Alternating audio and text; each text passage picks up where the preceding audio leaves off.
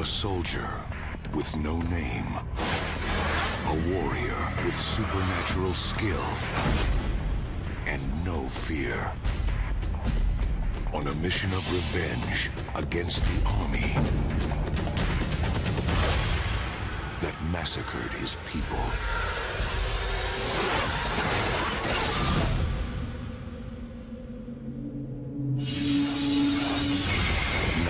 To make the wrong things right, he must take on the Empire's most ruthless assassins and reach the enemy he has sworn to defeat.